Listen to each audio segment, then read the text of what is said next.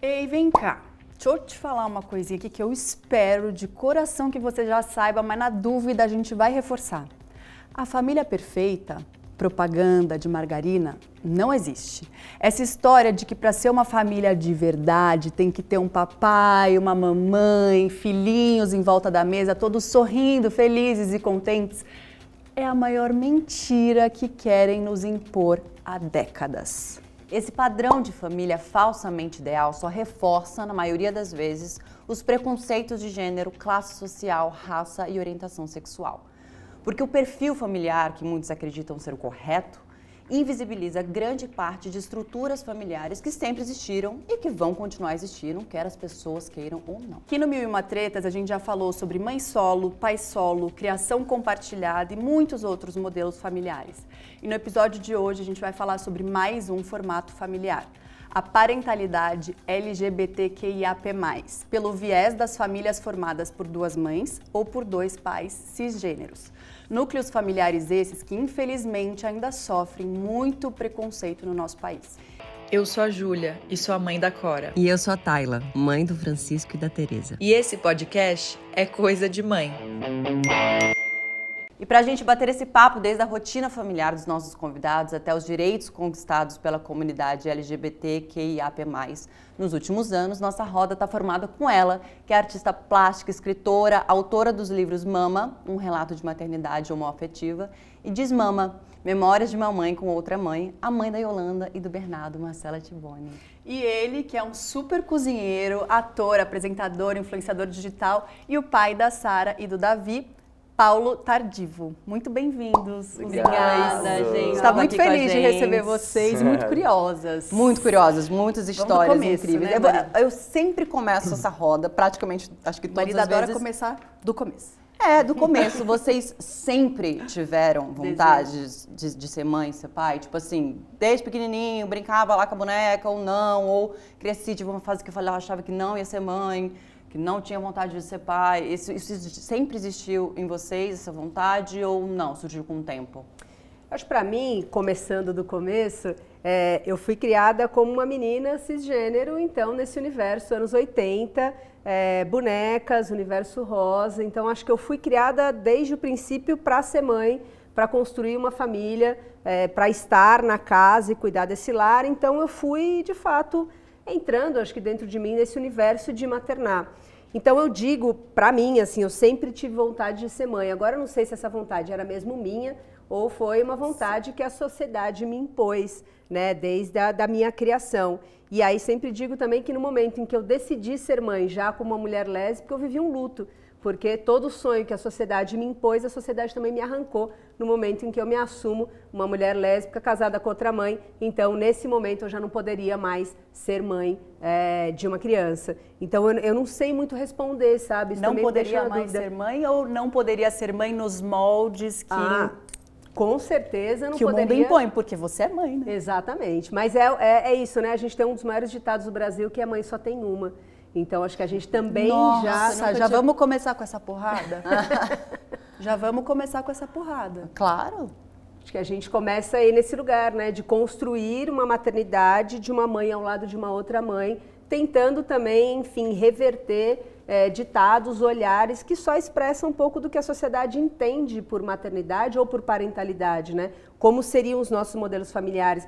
Mas quando eu tinha ali 17, 18 anos, para mim também foi muito difícil me desapegar desse lugar de núcleo, né, onde as pessoas sempre me mostraram que a família deveria ser como ela deveria ser constituída. Eu acho que também aí foi um exercício de quebrar muito, mas hoje eu também me faço essa pergunta. Eu sempre quis ser mãe ou isso foi algo de fato criado pela sociedade em mim, né? E você sabe que foi há pouco, há pouco tempo, em poucos episódios atrás, veio essa questão, acho que na verdade foi no episódio das mães, não quero ser mãe.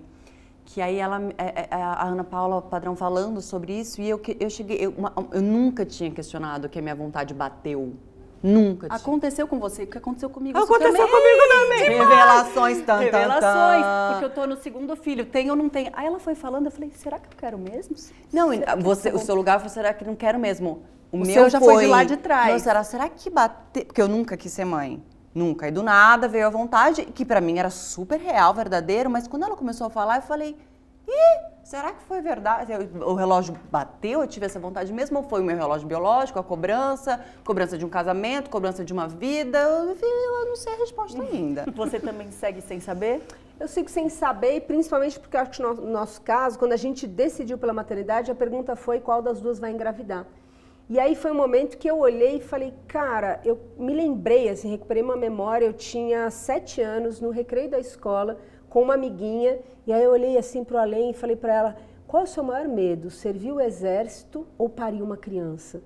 Então, cara, com sete anos, Sim, sete anos. Gente, pra mim era essa complexidade. quântica. E aí foi nesse momento de falar, cara, eu posso ser mãe sem gestar uma criança. Eu brinco, foi o momento que eu me senti mais sapatão na história do mundo, assim, veio aquela luz, fez, "Ah, pô, você vai ser mãe sem precisar carregar um filho na barriga. aí eu Ai, acho que, que eu delícia. reconstruí. Aí eu amei. Mas, Porque assim, pra mim a gestação foi horrorosa. Que delícia você poder ser mãe sem gerar uma criança. Pra mim não funcionaria também, não. Gerar, gestar, parir. Eu amamentei, mas esse processo. É, chegaremos lá, a gente vai porque chegar isso é uma Isso coisa é uma coisa maravilhosa. Conta pra Eu gente. sempre quis ser pai, sempre. Só que eu engavetei meu sonho, porque, por conta do que a Renate falou, na sociedade, né? É muito difícil. E eu engavetei o meu sonho e minha mãe também engavetou o sonho dela de ser avó. Porque posso, quando posso a gente. fazer uma observação sem, sem querer interromper, mas por não perder, porque eu ainda estou num puerpério, eu ainda perco o raciocínio.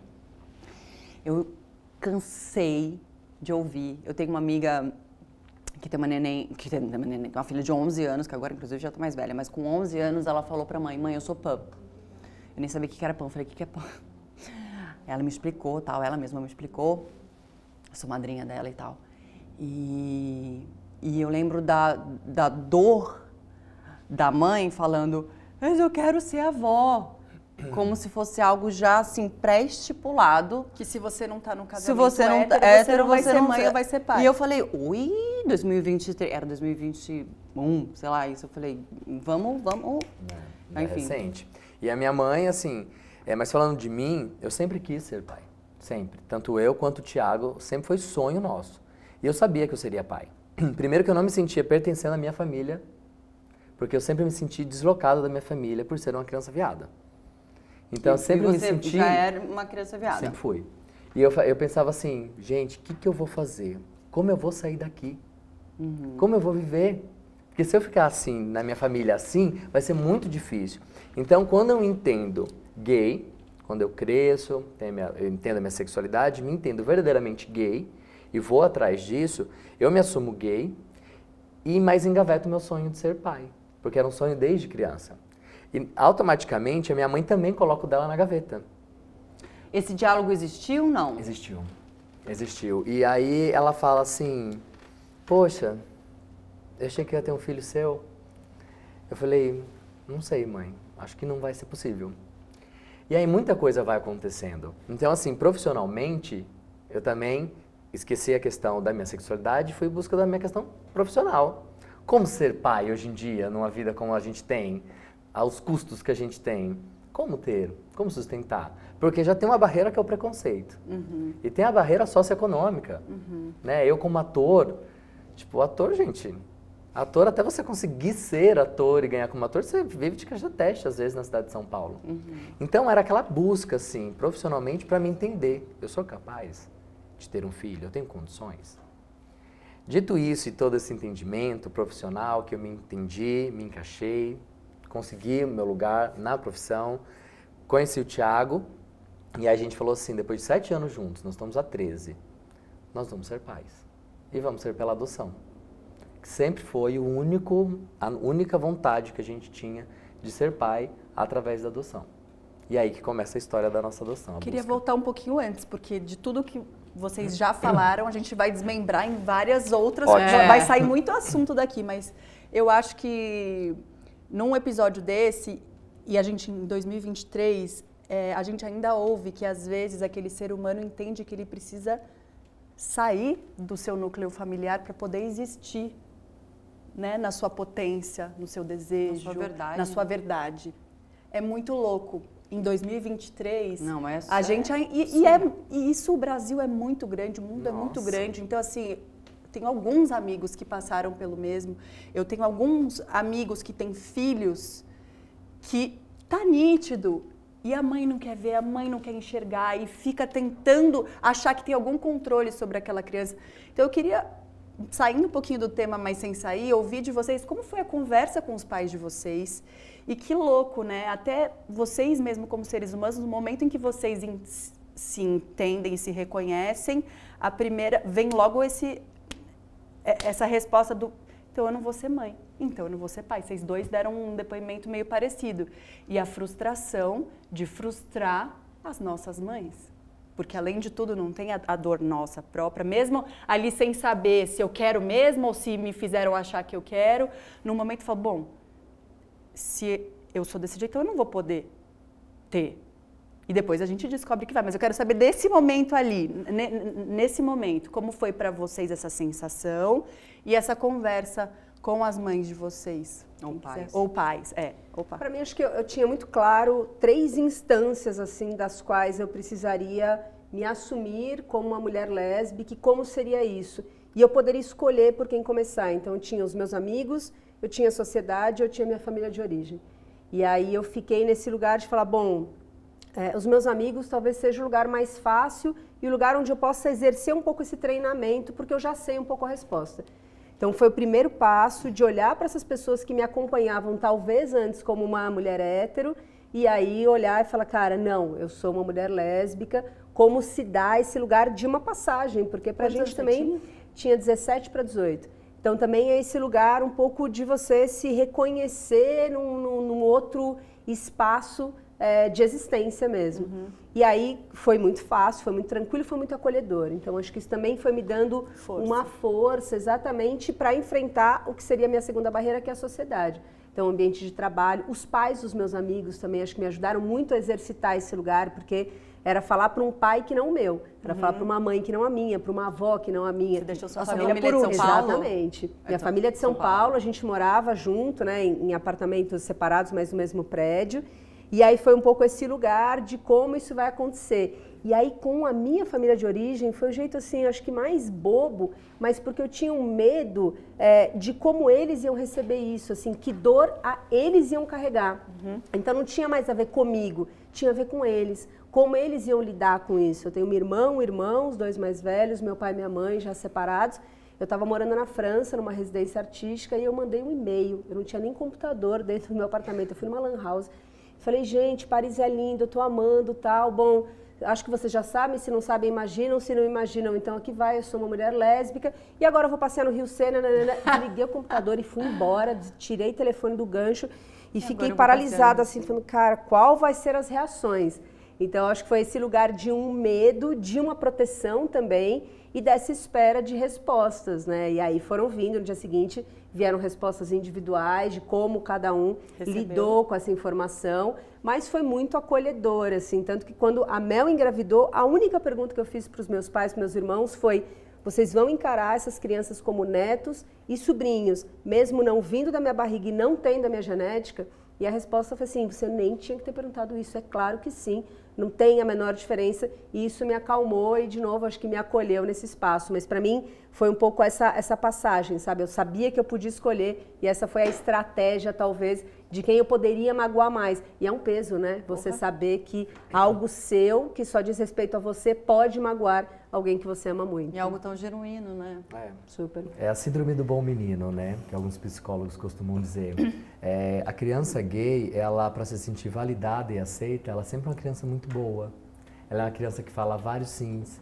É uma criança que ela está sempre disposta a ajudar todo mundo da família. E uma criança que, quando cresce, ela continua sempre com a dificuldade em dizer não. Então, aquela criança sempre permissível, aquele adulto sempre permissível, que sempre está querendo agradar, que sempre está tentando fazer mais do que é capaz de fazer. Então, é a síndrome do bom menino. É uma uhum. criança gay dentro do seu núcleo familiar, tentando ser aceita de alguma forma e dizendo vários sims, tentando ser o máximo, dando o máximo que ela pode, se preocupando mais com o sentimento do outro, porque a gente se vê numa situação de troca tão absurda que a gente acaba esquecendo dos nossos sentimentos, dos nossos sonhos. A gente engaveta, mas a gente está preocupado com a nossa mãe, com o nosso pai. Sim. Então é muito comum. A minha história, assim, enquanto uma criança gay no interior do Paraná, numa cidade de mil habitantes. Não foi perguntei de da cidade, porque né? eu sei o quanto é diferente de uma, de uma, de uma cidade grande, enfim, é, para um, um interior. Eu sou do interior e, assim, é muito outro lugar. Muito outro lugar. Meus filhos são do Ceará. A gente vai chegar nessa parte a gente uhum. entende que o Brasil é gigantesco. É. E a gente vive numa bolha. Então, eu venho do Paraná, de uma cidade muito pequena, de mil habitantes, uma família da zona rural. Então, assim, a gente tinha mil habitantes. A cidade tinha um telefone público, uma padaria, uma venda. E só tinha eu de gay naquela cidade inteira. Putz. Quanto criança. Então, eu não conseguia achar referência em nenhum lugar. Nenhum lugar para mim. Nem na TV, porque a gente vem de uma geração que as pessoas não se assumiam. Não, Sim. zero. É. Então a gente não via. Então, Sim. assim, eu não, achava, eu não conseguia achar referência nenhuma para mim. Então, quando eu me assumo, e, e aquilo já estava me sufocando. Quantos anos? Com 18. Aquilo já estava me sufocando. Foi um papo, um papo muito reto assim com a minha mãe. Mãe, é isso, isso, isso, isso. Não aguento mais. Então eu não sei o que, que você vai fazer, mas eu não, não, não consigo mais suportar isso aqui. Minha mãe contou pro meu pai. Meu pai ele chora uma noite inteira no sofá, inteira. E ele não quis me ver por uns cinco dias. Só que meu pai, com tudo isso, ele aceitou muito bem. E assim, são, são pessoas muito simples, mas são pessoas de muito amor. Então, a partir do meu pai, ele precisou daquele tempo dele, porque é necessário dar o tempo, claro. né? A gente sempre fala nas redes sociais, as pessoas perguntam muito isso pra gente. Eu falo assim, o tempo do seu pai, o tempo da sua mãe. Não adianta a gente exigir que seja no nosso tempo. Ó, isso aqui você é obrigado a aceitar. Assim, eles vão aceitar, eu acho necessário aceitar mas vai ser no tempo deles assimilarem tudo aquilo. É uma criação. Você cria seu filho o tempo todo, seu filho o tempo todo, seu filho o tempo todo. Você Cara, cria mas, uma mas coisa. Mas eu acho que isso é dessa geração, né, dos nossos Era, pais. Da porque, assim, passada. sinceramente, eu não consigo imaginar minha filha falando eu sou gay e eu ter que processar nada. Uhum. Não, por isso que eu falei 2023. Tipo assim, mas é, tem, é, tá? Tem. tem. Não, eu, eu assim, um processar o quê? Minha filha, a mesma, a mesma criança, a mesma pessoa. Muito tipo, próximo que eu vejo achando que tem algum controle, achando que pode mudar, tá claro. Tá claro. E aí, como amiga, e eu sou amiga íntima, você tenta entrar no assunto, luz. você tenta dar espaço para aquela criança mostrar o que já tá nítido. E. Ah, gente. Marcela, é. Cara, que, que achei muito incrível o fato de você ter conseguido amamentar né, as filhas de vocês. Você amamentou por... Conta pra gente um pouco do processo. A FIV foi algo tranquilo? É, esse, acho que existe alguma diferença, né, nessa, na, como é que foi para vocês esse processo de puerpério? Conta um pouquinho para a gente da história de vocês, Nossa. a gestação, a, a, sua amamentação. Posso pular um passo antes? Pode. Da, da, do momento em que vocês entendem que então vocês podem ser pais e como a gente vai fazer esse processo, você já tinha claro que era adoção. adoção. Você tinha claro que é possível, mas não quero gerar nem a pau. Que momento em que vocês sentaram com os maridos e entenderam as opções, maridos e mulheres, entenderam as opções e tomaram essa decisão? Pra gente, é, quando a gente se conheceu, eu brinco assim, a gente está junto há 10 anos e meu primeiro chaveco com a Mel já foi quero ser mãe, ela falou também. Eu falei, nossa. Primeiro chaveco? Assim, meu, meu, meu, meu, O Renato meu também e eu tava também. lá. Eu fui eu tava. Meu marido tava não, a gente nem tava se pegando ainda, nada, tipo, se pegando assim, há pouco, pouco tempo e tal. Não tinha namorado, não namorava nem nada. Ele me encostou na parede e falou: quero um filho. Seu. Eu falei, ah. E aí, tá, estamos aí, estamos né? Estamos aí com dois. Você e Renato. A gente, cara, a gente ficou Mesma nesse lugar estratégia. de falou, pô, quero ser mãe, quero ser mãe. E a gente começou a namorar, mas foi um lugar que acho que a mesma quantidade de desejo que a gente tinha, a gente tinha a mesma quantidade de desinformação. Assim, tá bom, a gente quer, a gente quer, cara, pela via né, da barriga, da gestação, e aí, como é que faz? Como que funciona uma clínica? É um banco de é, sêmen? É isso que eu queria ouvir bastante de vocês, porque eu imagino que um tanto de gente aí não faz a menor ideia, tem o desejo, talvez ainda está achando que não pode ter. Uhum. Cara, eu acho que é esse lugar de, bom, tá bom, quero, sei que não conheço, e aí vem a segunda questão, que é aonde eu vou procurar essa informação. Então, eu brincava que a gente parecia galinha ciscando assim na internet, ficava encontrava um blog aqui, encontrava uma informação ali, um, né, uma figura da rede social, uma matéria numa revista. Então a gente foi meio caçando isso tudo. As pessoas falam muito, né, a rede social é uma perda de tempo. Eu digo sempre que a rede social para nós foi a chance de construir a nossa família foi o espaço em que a gente encontrou as informações necessárias. Na época ainda do Facebook, em 2017, falei, gente, a gente quer ser mãe e a gente não sabe nada. Alguém consegue ajudar? Foram 178 respostas, assim, de pessoas Uau. falando, cara, clínica, obstetra, obstetriz, é, doula, assim, um, uma nominação que a gente desconhecia e a gente escolheu uma clínica, eu liguei, marquei a primeira consulta, porque era uma clínica que outros casais de mulheres já tinham dito, olha, a gente fez lá, foi muito legal, é, a gente foi super bem recebida, porque aí tinha também esse medo, tá bom, escolhemos, vai ser uma fertilização.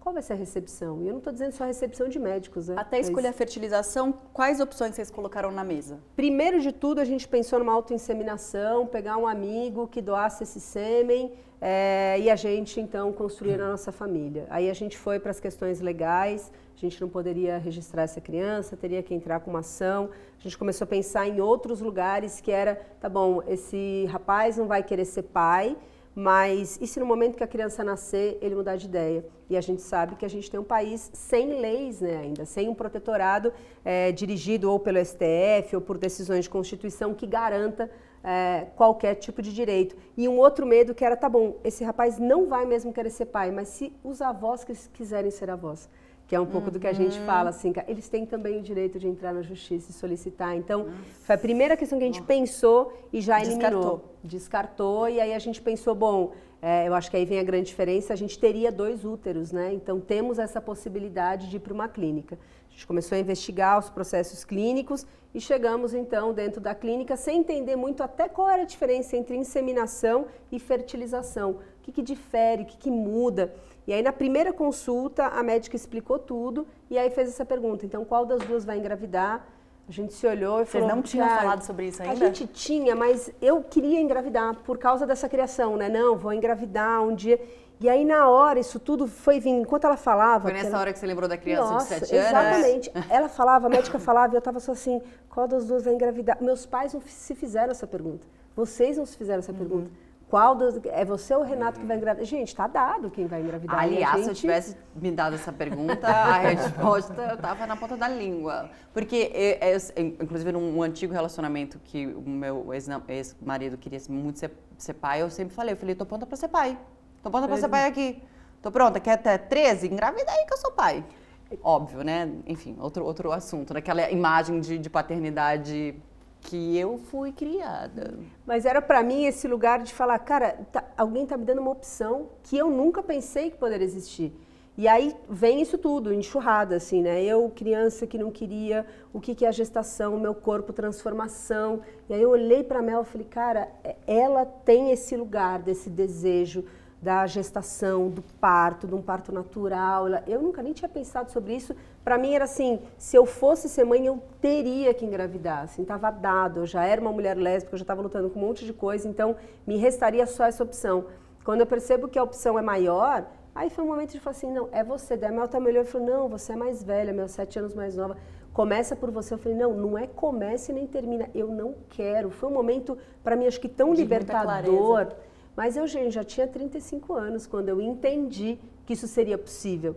Então, acho que também o processo clínico foi assim, passo a passo, porque primeiro é quem vai engravidar, depois ela pergunta, ela fala, legal, e com os óvulos de quem? Ah, é, porque daria para ela engravidar com seus óvulos. Exatamente. Aí eu olho e falo, gente, nossa, muitas perguntas, não, ah, socorro. Então, acho que foram, é, de novo, a desinformação que faz a gente pensar. Ela falou, não precisa responder nada disso agora, volta para casa, pensa. Pense. E na segunda consulta, para finalizar um pouco a história, a gente, ela faz uma pergunta que era, bom, fez, a gente decidiu que era o corpo da Mel.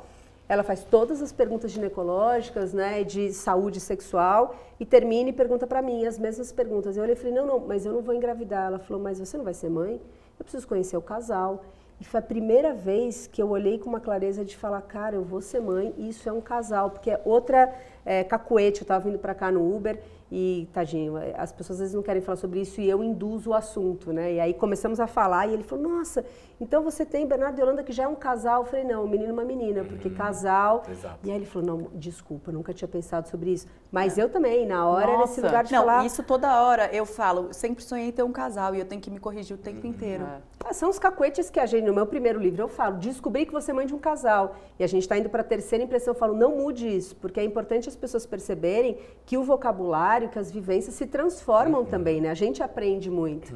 Então foi esse lugar Como da é clínica. importante, né? muito. Rasgar Nossa. tudo isso e jogar fora. É, e a nossa capacidade de transformação. Acho que eu vejo a minha transformação e acredito na transformação da Vocês sociedade. escolheram né? o óvulo dela também? o óvulo da Mel, barriga da Mel, tudo da Mel nesse momento aí. E aí, na hora que nasceram, eu falei, cara, então a gente pode, na hora que nasceram, não, quando a Mel estava grávida, também com cinco meses, a gente no carro, as duas são geminianas, tá? Então a gente fala, pensa, ela falou, amor, você não toparia amamentar comigo? Porque são gêmeos, né? A Isso, gente... essa história é maravilhosa. Ela falou, cara, a gente não tem licença Eu maternidade. não sabia que isso era possível. Nem a gente. tá? eu Foi- descobri que isso era possível É, lendo a a, sua histó- a história. sua história, a história de vocês. É, ela me soltou isso, eu falei, não, eu topo, mas dá? Ela falou, não, eu já não sei, então vamos de novo para a rede social. Aí a gente vai para a rede social e descobre uma consultora de amamentação, muito indicada por muita gente. Aí liguei para ela animadona, falei, cara, quero marcar consulta, marcamos. Falei, quantos casos de sucesso já atendeu? Ela falou, zero, nunca atendi um caso nenhum. Você foi o primeiro caso de sucesso dela? Ela falou, cara, não, não, Ah. nem de sucesso, nem de sucesso. Ela falou, nunca atendi Nunca ninguém me chegou com esse é, Ela pedido. falou, conheço o protocolo, trabalho com uma ginecologista obstetra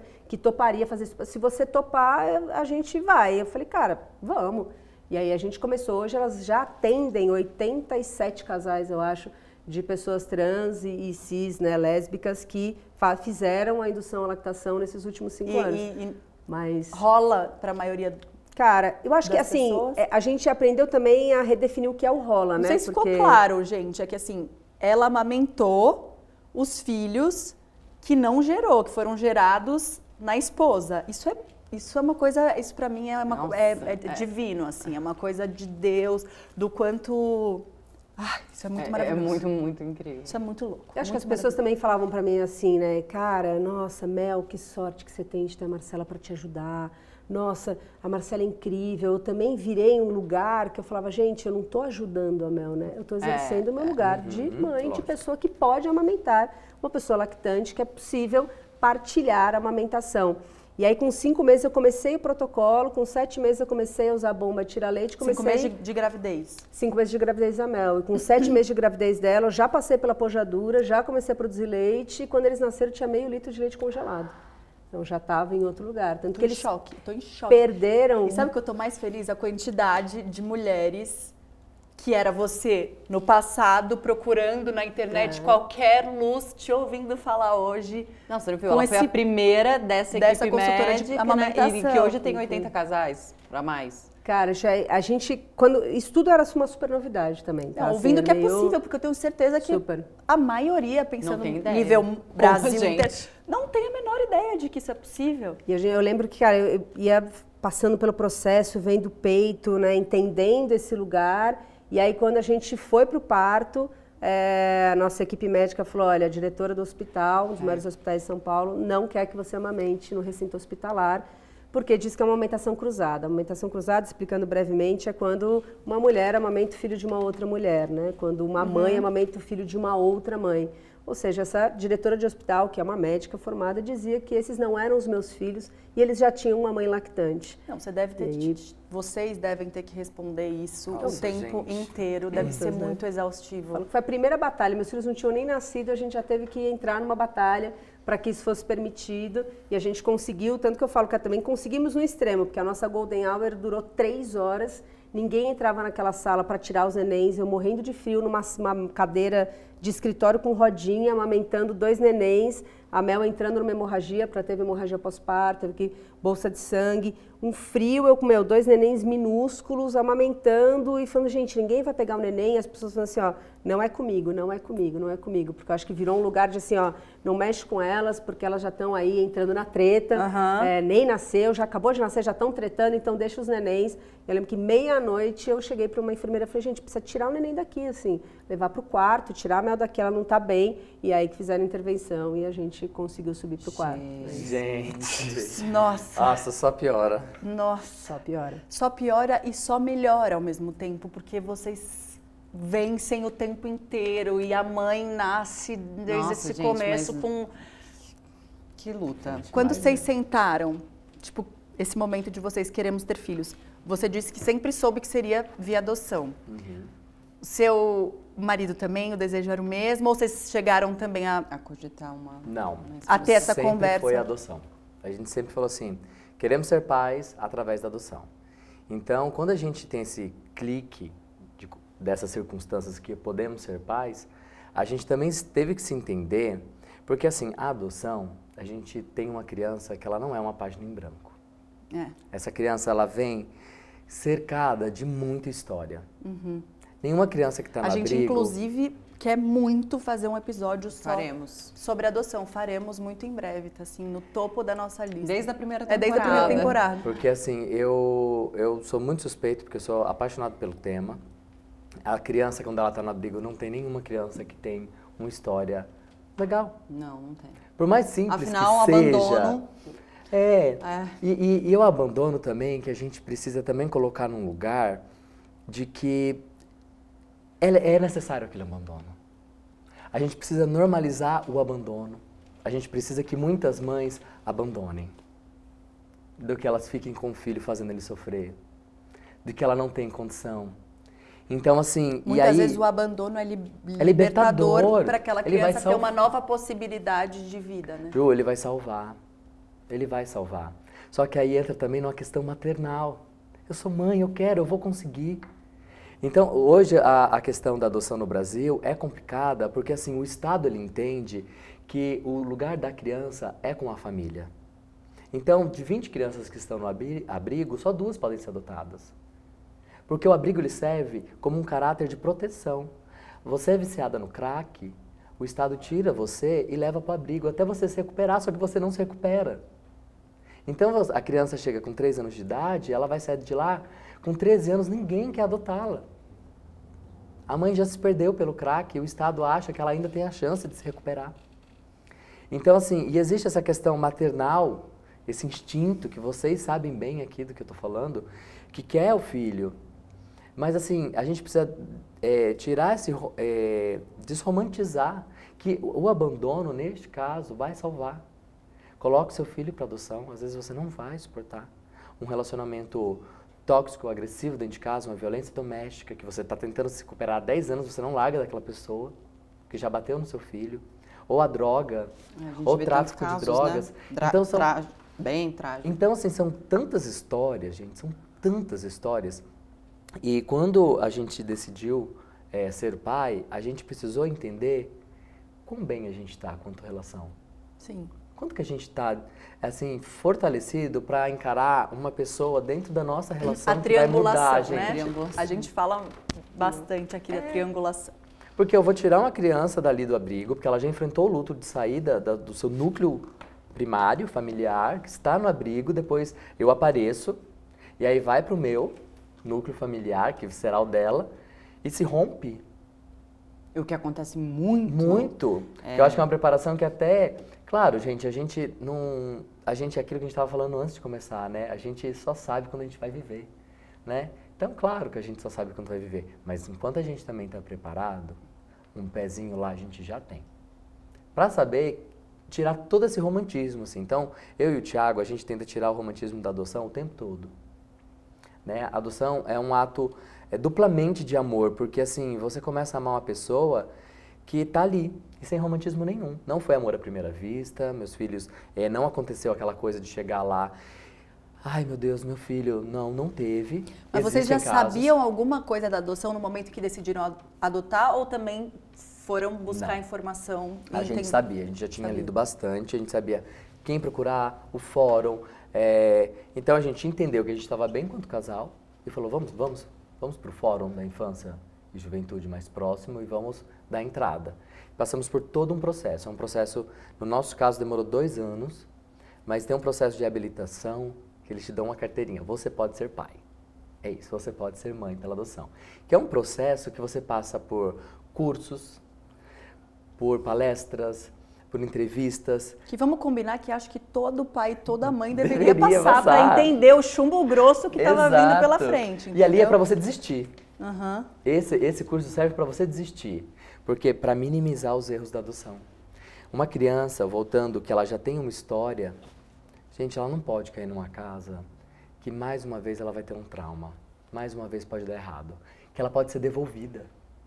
Porque os índices de devolução de adoção são altíssimos no Brasil. As também. pessoas devolvem. Devolve. Eu tenho um, um lar que eu sempre ajudei na minha cidade. Eu tinha uma menina de três anos que ela já tinha sido abandonada e devolvida duas vezes.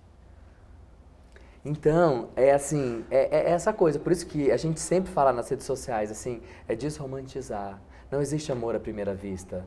Pode existir. Amor é construção, né? É construção, né? É, mas pai? a gente É cuidado, que é eu pari minha filha também e fui construindo o amor falo. dia após dia, assim. É E- completamente diferente o amor que se E sente tem uma hoje do amor que cobrança, inclusive, para mãe que gerou e pariu. Que é amar de a nascer e anjos tocarem uma harpa e a mágica acontecer. Algumas mães são Dizem. abençoadas, Uhum. né? Dizem que isso acontece. Mas no meu caso é dia após dia e o negócio vai ficando melhor, melhor, melhor, melhor, melhor. Mas imagina, não, E a gente sempre fala isso, porque senão as pessoas chegam lá no abrigo, porque recebe o telefonema, né? Tem um filho pra você no seu perfil, chegou, o abrigo é tal, quer visitar? O dossiê esse quer visitar? Aí chega, não sente, né, as harpas dos anjos, acha que, ai não, Não, não é. não é. Não era isso. Então, assim, é uma história que ali poderia ser construída. E os nossos filhos, eles vieram do Ceará. É, a gente ia adotar foram uma... todos de uma vez. É, eles são são irmãos, irmãos, né? biológicos, só que a gente ia adotar uma criança. Vocês estavam preparados para uma, né? Só eu- tinha olerite para um filho. Não tinha olerite para dois. Aham. Aí a gente chegou lá no Ceará. Era uma- um. Ceará, assim, três horas de Fortaleza, era na Caatinga mesmo, assim. Então a gente viu aquele bebezinho, a gente com medo, e o Thiago, ai meu Deus, que medo. Que pequenininho. Ai, será? Será que a gente dá conta? Não sei o quê. Aí vem a informação da coordenadora da Abrigo e falou assim, mas ele tem uma irmã. E o Ministério Público quer que adote os dois e o juiz pode, diz que pode separar. Aí a gente falou, ah, é? A gente ficou assim, aquela informação, uma suspensão. Gente, tava no Ceará. Eu só planejei um- ter um filho. Só poderia ter um filho naquele momento. Aí chega a Sara. Aí quando a Sara chega, aí houve uma empatia muito forte. Porque assim, uma menina é, de 5 anos já, com um uniforme Outra maior que o história, dela, é. que era de um menino que foi emprestado, foi passado pra ela com o cabelinho cheio de creme e muito triste. Porque a história dela anterior era uma história muito triste, muito difícil.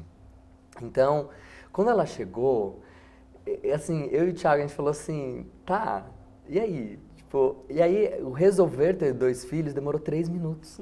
Foi o tempo de tomar um café, que a gente nem tomou, assim, vai, não vai? E aí, a gente falou assim, vamos. Foi aí que a gente começou a travar uma batalha na justiça para adotar os dois. E aí a gente enfrentou muito preconceito, porque assim, é, a gente fala da bolha, né?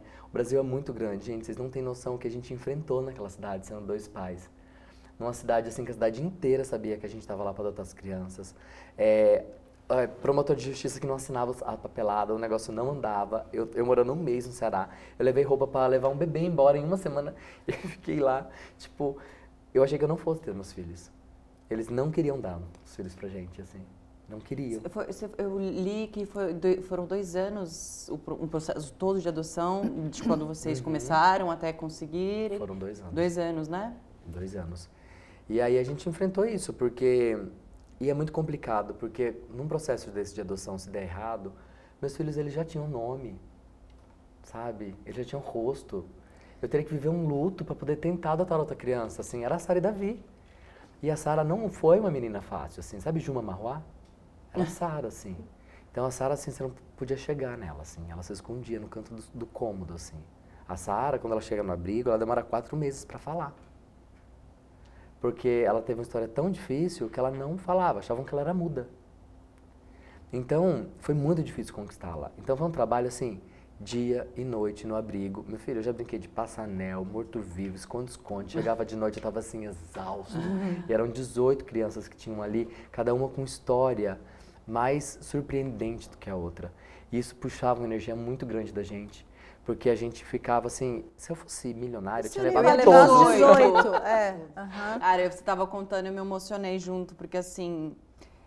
eu ainda vou adotar. Eu, ainda vou adotar. eu sempre tive vontade de adotar. Quando me perguntavam, você quer ser mãe? Eu falei, não, mas eu quero... Não. E, e, de novo, a minha criação, né? Porque a minha resposta era, não quero gerar. Não, mas eu quero adotar. Como se fosse uma outra realidade de maternidade. Já, tipo, não, não quero ser mãe, mas quero adotar. Tipo, nessa criação, é. enfim, também do, do, interior, que, enfim, que é não necessariamente todas, tá, gente? É, senão o interior vai me matar aqui.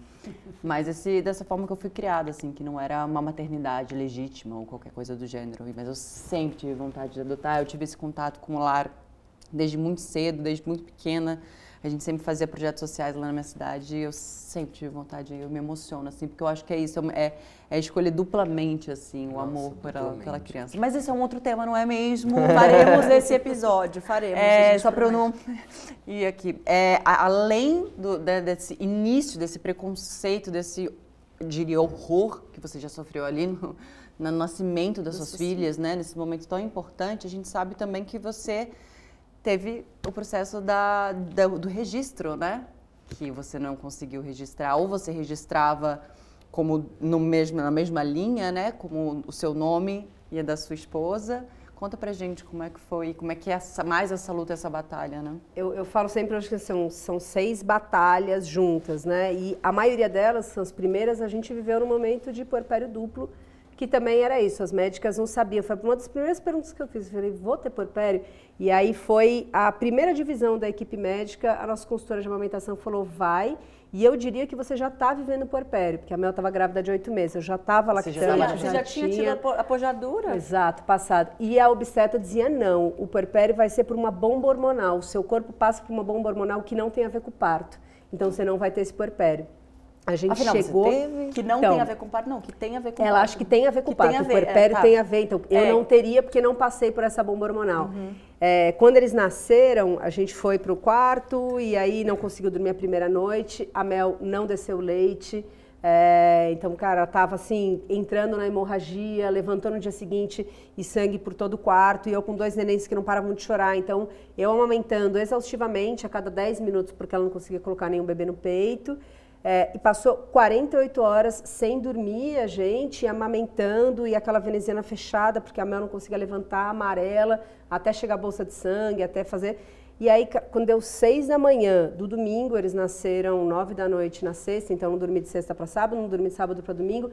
Seis é e quinze da manhã de domingo, era a cena do quarto, era tudo escuro, a Mel chorando na cama, o Bernardo no bercinho, a Yolanda no bercinho chorando também. E eu sentei no sofá, olhei para aquela cena de todo mundo chorando, olhei para a Mel e falei, sabe, e se eu começar a chorar? E aí eu comecei. Ah, chorava, chorava, chorava. E a mãe falava, por favor, não chora, vem até aqui para te dar um abraço. Eu falava, não quero, não era isso, a maternidade não era isso. É muito louco. Não eram todos vocês chorando e eu tendo que fazer tudo, eu com a camisa aberta, assim, com dois peitos.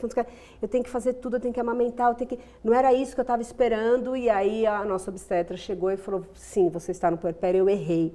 Você está vivendo isso.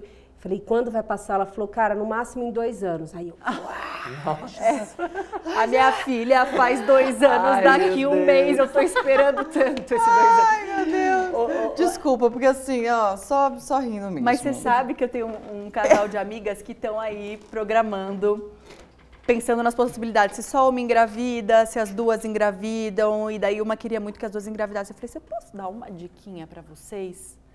Vai uma primeiro, a outra depois. Vamos deixar uma no puerpério primeiro e a outra no puerpério depois, porque... Duas no puerpério. Não, eu não, nem sabia o que era isso direito. Eu lembro que assim, uma cena para elucidar e finalizar esse assunto, a gente chegou em casa, a gente tinha pensado onde ia ficar a cama, como que ia ser, mas não tinha pensado como os bebês iam dormir na nossa cama. E eram dois, não cabia lado a lado. Aí eu fui tomar banho, quando eu voltei, a Mel tinha enrolado eles na toalhinha assim, colocado um em cima do outro. Só que eles tinham aqueles espasminhos assim, uhum. então a Yolanda batia a cabeça na parede aqui e chutava a cabeça do Bernardo embaixo. Uhum. E aí eu olhei para aquilo e falei, que que é isso aqui? Aí a gente começou a rir, assim, a gente sentou no chão rindo, de repente eu olhei para a Melanie e comecei a chorar, ela começou a chorar, e a gente chorando e se abraçando. Depois de uns 10 minutos desse momento, que a gente foi de uma risada louca para um choro, a gente se olhou e falou, cara, é isso, Perpéria? Ela falou, é isso. Eu não quero que hoje acabe, mas eu também não quero que amanhã chegue. E hoje parece o mesmo dia de ontem, isso vai durar dois anos. Eu falei, cara, calma, é um dia de cada vez. É. Então, as nossas primeiras batalhas de lutas é, foi nisso, foi nesse lugar de Perpéria. Então, quando eles tinham 48 horas de vida, o rapaz entrou Nossa no senhora, quarto consegui fazer essa, essa conta. do hospital e perguntou, foi fazer a DNV, que é a declaração de nascido vivo, falou quem é o pai, quem é a mãe, ele falou, só tem duas mães, ele falou, não cabe, documento que já vem do, do Ministério da Saúde, só cabe aqui é, uma mãe e um pai. Então vocês têm duas opções, ou uma fica fora do documento, ou alguém vai entrar como pai. Eu falei, não, a opção é você rasurar. Não posso rasurar um documento oficial tal. Mas esse documento não é nada, é só para falar que a criança está viva. Eu falei, para você esse documento não é nada. Para mim é o primeiro documento oficial dos meus filhos que eu não vou estar. Então essa primeira batalha, segunda, né, porque a primeira foi a amamentação, a gente perdeu. Eu não estou na DNV deles. E aí já tremendo para chegar no cartório para fazer o registro. Que eu via todos os pais entrando e a média de cálculo era de 16 a 20 minutos para fazer uma certidão. Eu demorei 48 minutos porque a pessoa que estava ali não sabia fazer. E eu pensava, bom, o documento está escrito filiação. Qual é a grande dúvida dessa pessoa? Porque filiação tem duas pessoas, independente de gênero, gente. São duas pessoas. E ela perguntava e olhava e vinha outra pessoa. Bom, 48 minutos conseguimos até fotos da certidão de nascimento deles com filiação, tudo certinho, para a gente descobrir anos depois, pela Receita Federal, que aí quando eu fui fazer né, o, o cadastro deles, pegar o cadastro do CPF, tem quatro informações online para você preencher, que é o nome da criança, número do CPF, data de nascimento e nome da mãe. Só tem nome da mãe. É, então, se é Paulo isso. for preencher, não, não tem, porque eles não têm uma mãe naquela relação. Um pai solo. E aí eu olhei e falei assim, somos duas mães. Coloco o meu nome, clico OK, cai numa página, Marcela não corresponde com o nome da mãe do Bernardo ou com o nome da mãe da Yolanda. Por causa Desse primeiro, Desse documento. primeiro documento. Aí fomos entender, fechei a tela do computador, chorei, isso, enfim, fiz um post que viralizou, que virou um abaixo assinado, que virou uma ação que hoje está no STF, e que aí a gente foi entender que por que, que essa pessoa, na hora de registrar, fazer certidão de nascimento, tinha tantas dúvidas. Porque no papel impresso está escrito filiação, mas na tela do computador dela estava escrito pai e mãe. Então, o que eu tenho, eu falo sempre que é uma alegoria, uma coisa que eu posso enquadrar, colocar na parede que não serve para nada, porque, gente, pós-pandemia, o nosso sistema é todo online o sistema da Receita Federal ainda tem pai e mãe. E aí, como eu entro como pai, para o CPF, que já vem junto, né, desde acho que de 2017, é o mesmo documento, Sim. eu não entro, não estou como mãe dos meus filhos. Então, isso gerou uma ação, enfim, hoje você tem vários sistemas, a Polícia Federal, a Polícia Civil, é, o TSE, que já mudaram seus sistemas, né, com opções de famílias diversas, a Receita ainda não. E aí, esse ano eu fui fazer a matrícula dos meus filhos numa escola pública aqui de São Paulo, no MEMEI, e eles estavam em número 1 e 2 da, da fila de espera. Falei, bom, vaga garantida. E a criança 3 sendo chamada, 4. 5. Quando a criança número 21 foi chamada e a gente não, liguei na escola, ela falou, olha, eu não consigo validar o seu CPF, o CPF deles, eu não consigo validar. Eu estou nessa escola há quatro anos, eu nunca vi isso. Eu clico para validar e não valida. Aí na hora eu falei, cara, eu me coloquei na ficha como mãe. Tinha que ter E sido. aí deu cruzamento de dados. Eu não sou mãe deles para a Receita Federal, então o CPF deles não vai validar. E aí calhamaço de documento na diretoria regional de ensino. E aí Gente. a mulher olhou para mim e falou, cara, há oito anos eu nunca vi isso acontecer. Nós vamos fazer isso aqui na ponta da faca. Aí ela entrava no sistema, fala com um, fala com o outro, uma hora ela na mão, assim, ela foi lá e falou, validei, agora você escolhe a escola, a gente vai fazer essa matrícula, mas eu não sei se você vai conseguir receber os benefícios, porque você não consta como mãe. Então, isso era uma questão assim que na época que a gente descobriu que eu não estava como mãe deles na Receita, e foi uma mobilização de muita gente online, né, figuras até com, com bastante visibilidade que são mães, falando, cara, e aí, o que, que, pode acontecer? Eu falava, não sei o que, que pode acontecer, porque meus filhos são iletrados ainda, né? eles tinham dois anos na época.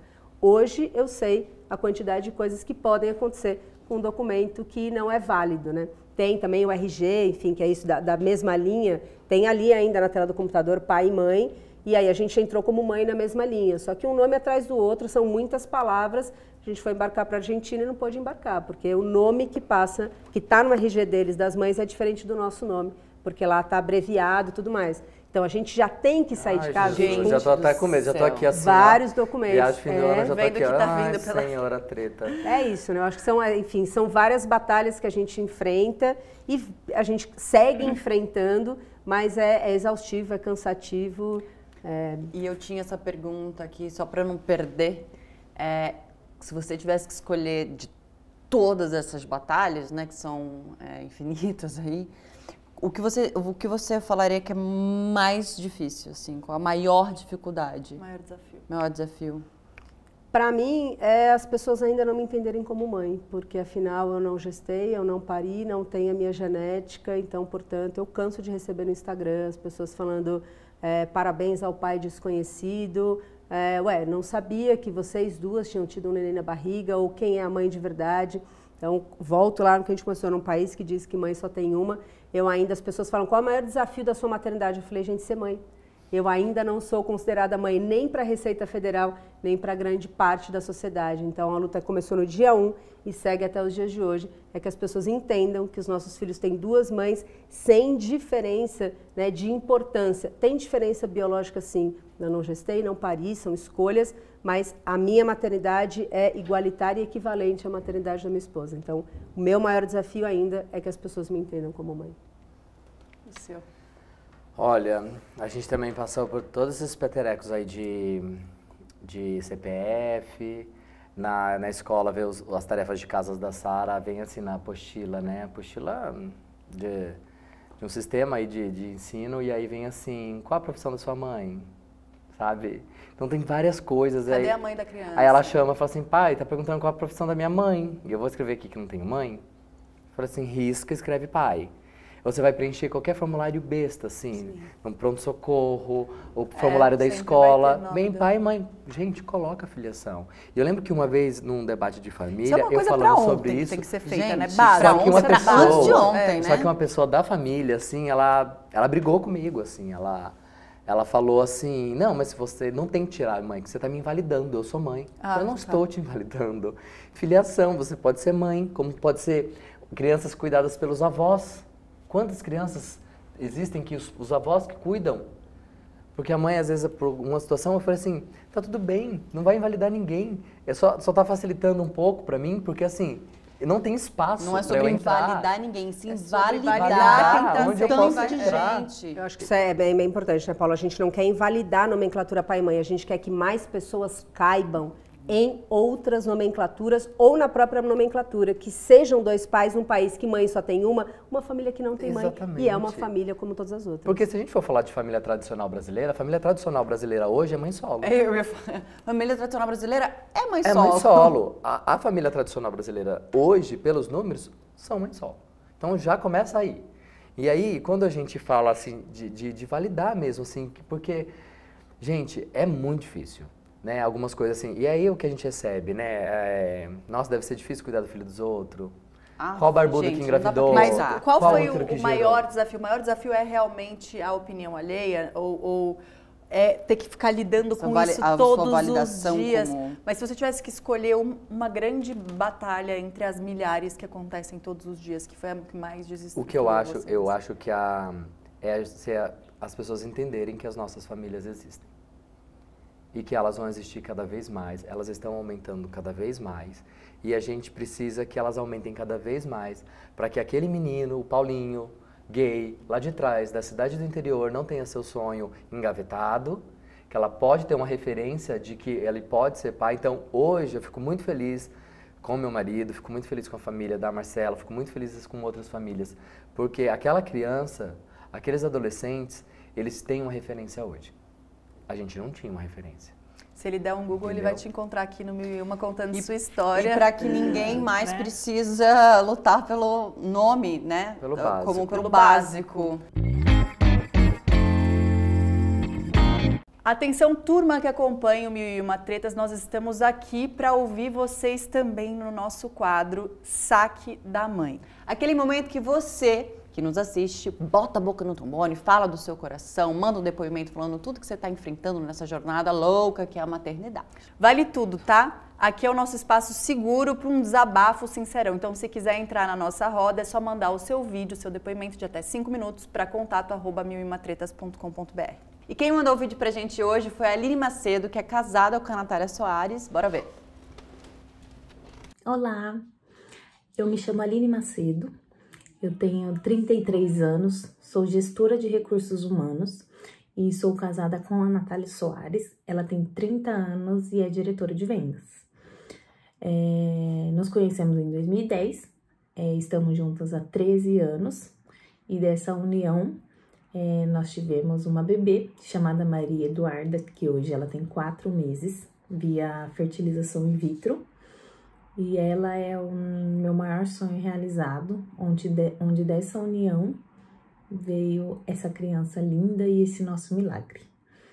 É, acredito que o único diferencial que nós tivemos com relação à maternidade de duas mulheres de um casal homoafetivo, é, a única diferença foi é, que para ser registrada no nome das duas mães, nós precisamos ter a união estável ou o casamento civil. É, na, quando ela nasceu, nós fizemos, nós já tínhamos feito um pouco antes a união estável, então nós conseguimos registrá-la sem problema lá no cartório da Avenida Paulista, em São Paulo, então não tivemos problema. É, mas tinha que ser é, ter um dos dois, ou união estável ou casamento civil. Nós fizemos a união estável hoje nós pretendemos realizar o casamento civil. Então, estamos seguindo os próximos passos para isso. E tá agora, é, tem uma proposta para acabar com o casamento homoafetivo, casamento civil homoafetivo. Então eu gostaria de saber de vocês o que vocês acham disso, o que a gente pode fazer contra isso e, que, e o porquê que nós teremos que lutar por isso, porque nós somos uma família e nós temos nossos direitos e nós lutaremos por eles, tá bom? E minha família existe sim, tá ok? Um beijo. Ai, que linda. E é muito doido, né? Porque assim, não. Por quê? Por quê? Qual a justificativa de precisar ter uma união estável, um casamento civil, se para qualquer relação heterossexual isso não existe, né? O pai registra como pai, a mãe registra como mãe, não tem casamento, não tem união estável, não tem nada. Podem ser dois desconhecidos, tá tudo bem.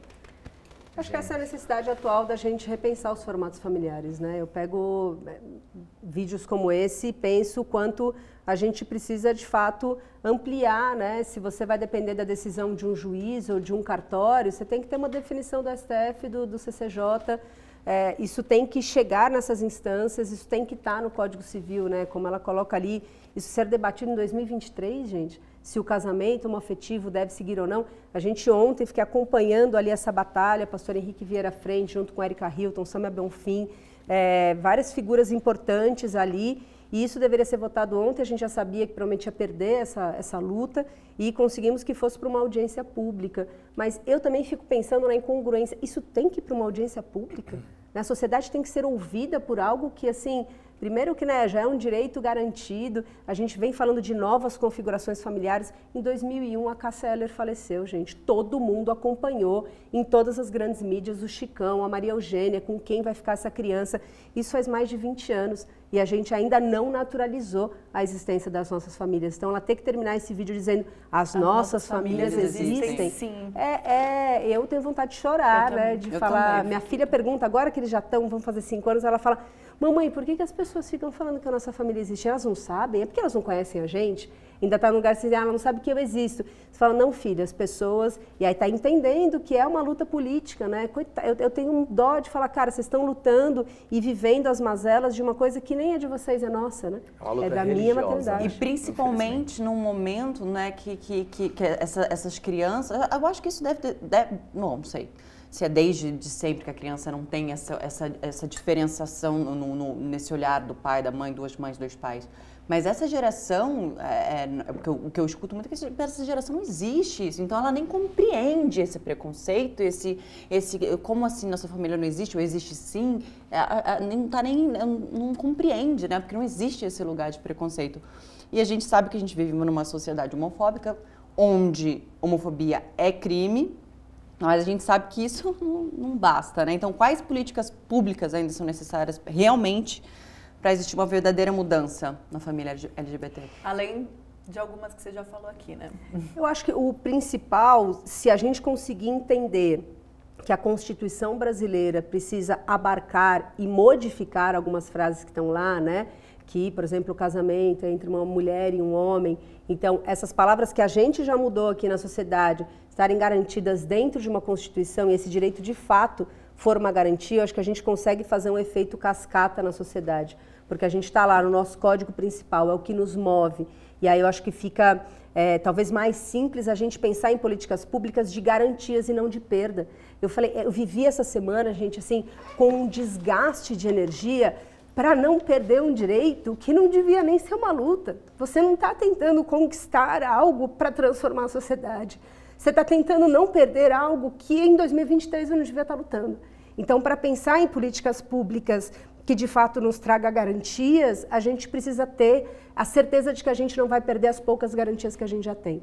Então, acho que primeiro é garantir de fato dentro da Constituição aquilo que a gente já lutou né, nas últimas décadas aí para ter como conquista de fato para que depois a gente possa pensar em outras políticas públicas que de fato fortaleçam. Desculpa, esse é um assunto que me tira imagino, um pouco do prumo. E além de tudo isso, a, a gente tem que estar tá se desgastando com isso, a gente tem crianças para educar. Você entende? Todo mundo tem criança para educar, só que não está se preocupando se, é, se eles vão considerar que a gente existe ou não. A gente tem que se preocupar em, em, em informar essas pessoas para a sociedade e preocupados se que, que eles vão ser da vida deles. Porque amanhã nossa certidão pode ser rasgada. Gente, quando eu vi isso, que faz né, pouquíssimo tempo, eu, eu, eu, vi duas vezes o vídeo. Eu vi o vídeo da Ananda Costa. Eu vi uma vez, eu, eu juro que eu não entendi assim direito. Falei, Hã? Tipo, aí eu vi de novo. Aí eu vi o pastor Henrique, que eu adoro, admiro, meu voto foi dele, ele sabe. E eu falei, peraí, quê? Como assim esse retrocesso? É, é, é quem, como? Da onde? Como é que pode? Assim, é uma coisa inacreditável. E eu precisei realmente ver, rever, gente. Não, tão inacreditável que na hora, né, nosso grupo do Mil e Uma, a gente, falou, a gente, compartilhou desse vamos episódio puxar agora. esse episódio para agora, porque porque a gente estava com um monte de gaveta, vamos vamos puxar e vamos subir o mais rápido possível, porque a gente precisa falar sobre isso. Tentar fazer alguma coisa. Tentar fazer. Tentar. Tentar. Quando você diz que você, é, você falou ali atrás, eu, eu perdi, você falou assim, eu tinha certeza é, que, que a gente ia perder. Você, você, como assim? Você tem certeza? É, essa votação, para a gente entender, ela é super complexa. Ontem eu fiquei tá, com os assessores do pastor, da, da SAM, enfim, da Thalíria Petroni. Eu estou hoje muito envolvida na política, não por um desejo, mas porque eu acabei uma caindo nesse lugar. Necessidade. Exatamente. E é, essa votação ela não está acontecendo na Câmara, ela acontece em comissões. E ontem ela foi para a Comissão da Infância, Adolescência e Família, que infelizmente é uma comissão hoje é, com maioria fundamentalista religiosa é, e de extrema direita. Então, que a gente sabe que é a pauta, talvez, de luta dessas figuras e que, para mim, o mais surpreendente é que não são políticos que querem aprovar nada, eles querem só bater né, em comunidades. E a comunidade LGBT, eles sabem que eles vão ter holofote, que eles vão ter palco, né, que eles vão ganhar votos e falar as coisas esdrúxulas que disseram ontem. Então, ontem a gente sabia que a maioria era deles. Sim, então, entendi, virar esses entendi. votos era muito difícil. Perdendo ali ou ganhando, enfim, vai para ainda depois para a comissão é, de direitos humanos, depois para a comissão de constituição. Então, é, é, é, é extensa essa luta, mas ontem E é voto por maioria? Por maioria. Por maioria. Então, é, você, é, é, é, isso, né? A gente vive num país extremamente religioso, né? E, e eu faço questão, de, no meu lugar de fala, as pessoas que me seguem sabem que eu sou cristã, frequento igreja evangélica. Isso tem uma coisa que sempre me afastou de falar que eu sou evangélica, porque eu não consigo me considerar evangélica nem católica, e sim cristã. É, é justamente esse lugar, assim. Assim, eu não consigo entender Assim, não, não, não consigo, eu, não existe a possibilidade desse Cristo. É, eu fico até, até nervosa, assim, esse Cristo ter qualquer. É, é, qualquer diferença entre seus filhos, entre famílias, núcleos familiares e amor. Porque o Cristo que eu acredito, ele é amor. É o que eu leio na Bíblia. Não, mas está na Bíblia. Não, o que está na Bíblia é amor. O que esse cara foi aqui, ele foi amor. Eu, enfim, sou cristã, sou apaixonada por ele, mas assim não existe esse lugar para mim, assim é uma coisa tão absurda que eu sempre eu que acaba me afastando da religião e que tudo bem, porque para mim religião só afasta, a religião é infelizmente uma coisa criada pelos homens e que gera tudo que gera e infelizmente são coisas mais terríveis do que boas, acho que é o que a religião traz. Mas esse cara para mim foi amor, é amor, eu sou apaixonada por ele, para mim assim não existe, é uma coisa triste que eu vejo é, sendo pregada com palavras dele, né? É muito triste quando eu vejo um, isso, um, né? um, enfim, um pastor, um padre colocando nesse lugar e eu falo e até o, o, o nosso Papa, né? Que foi uma grande evolução, acredito assim, é, falando e ele sendo excomungado pela classe católica e tudo mais. Eu falo, meu Deus do céu, que triste. Eu acho que por isso que é importante a gente falar que a gente está falando de religião, a gente está falando de fundamentalismo religioso. Uhum. Quem quer usar a religião para manipular olhares, a né? Massa. Figuras que, enfim, estão ali tentando falar em nome de uma generalização. Eu não posso te generalizar, tá? Né? O que você acredita, como Sim. você acredita, é seu. Não dá para colocar nesse lugar de que todas as figuras religiosas. Não, gente, está falando não. de um fundamentalismo, é um pedaço muito pequeno que é aquele que a gente vem lutando. E que domina uma grande massa nesse país, né? Então, assim, é muito perigoso e é muito triste. A gente sabe que a maternidade é um processo muito individual. Mas volta e meia escutamos aqueles pitacos, tipo, você tem que fazer isso, você tem que fazer aquilo. Se eu fosse você, marida, eu faria hum. tal coisa. Gente, são tantas informações vindas de tudo que é lado que a mãe, que na maioria das vezes já está sobrecarregada, fica mais perdida ainda, né? Pensando nisso, Nestlé Materna veio nos ajudar ampliando a sua linha de produtos voltados para a maternidade. Então, desde o período de planejamento da gravidez, durante a gestação e até no pós-parto, a Nestlé nos apresenta uma variedade de produtos que complementam as necessidades nutricionais das mulheres, respeitando assim a individualidade de cada corpo. Isso é incrível, né, Marida? É muito, gente. Eu achei sensacional, porque afinal de contas, a Nestlé sempre esteve presente nas nossas vidas, mas o que talvez muita gente não saiba é que a Nestlé Materna tem agora uma linha de suplementos com DHA, nutriente muito importante para toda essa jornada. Entre os lançamentos de Nestlé Materna, nós temos o Materna multivitamínico com DHA, que foi criado pensado em todas as fases dessa jornada. Esse multivitamínico possui na sua composição 19 vitaminas e minerais, além de DHA e o melhor de tudo, sem sabor residual. Outro produto que eu acho incrível é o Materna Ômega 3, que também é eficaz para todas as fases dessa jornada já que o ômega 3 é fonte de DHA, que é um nutriente essencial para apoiar todas as fases dessa jornada dessa mãe, né? E é claro, como a gente está falando de suplementação, é importante lembrar que uma dieta bem equilibrada durante a gravidez e após o pós-parto ajuda a manter um suprimento adequado de leite materno. Por isso, a gente recomenda que você fale sempre com seu profissional de saúde antes de adicionar qualquer suplemento dietético à sua dieta em qualquer uma das fases da sua gravidez. Agora, se você foi ao seu médico e ele recomendou uma suplementação, a gente tem uma ótima notícia para você, que é um cupom de 10% de desconto nos produtos da Nestlé Materna no site da lojinha Baby Me usando o cupom Materna e 1001. Maravilha, Maravilha, né, Marida? A gente não veio falar de coisa boa sem dar cupom de desconto para vocês, entendeu? Então corre para aproveitar, porque a gente sabe que materna tá do seu lado na maior jornada da sua vida. Queria ir para um, um, agora pensar mais nas crianças. A gente está falando tanto dos milhares de desafios que vocês vêm tendo, mas aí quando você levanta, falou assim: e tudo isso a gente ainda tem que educar a criança. Sim, tudo isso vocês têm que educar a criança. Hum, e o Nossa. tempo todo eu imagino que as crianças de vocês é, passam por várias situações diferentes de procurar explicação. Quem é a rede de apoio de vocês primeiro, de cada, um, da, cada uma das famílias? E hum, quais são esses grandes desafios assim no dia a dia, né? De precisar, porque você está lutando por uma coisa, você ainda tem que explicar para aquela criança o que, que a mamãe tem direito e está lutando e a gente vai conseguir e tudo mais, né? Porque por muito menos, né, explicações muito mais óbvias, a gente já rebola ali para dar para os nossos filhos. Eu imagino que eles sejam expostos a questionamentos, a pessoas homofóbicas na rua. Não sei, estou supondo aqui, eu queria ouvir de vocês. Olha, é... Sua rede de apoio é quem? Minha rede de apoio é a avó, a mãe do Ti, graças a Deus. salve as avós presentes. Gente, né? olha, salve, viu? Porque a gente, desde quando a gente optou é, em ser pai, a gente sempre teve essa preocupação do casal. Então a gente tenta sempre fazer os nossos rolês. Então a avó vai lá dar uma salvada uhum. pra gente ter essa despressurização.